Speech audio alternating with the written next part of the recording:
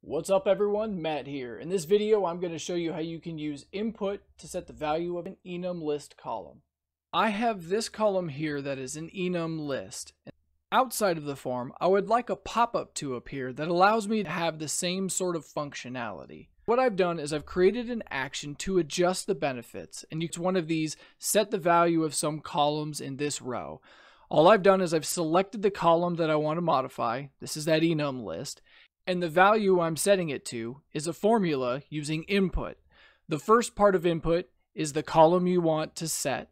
The second part is what's the default that this column should be set to when the input opens. Since I want this to default to what's already there, I'm simply using the square brackets around the column name.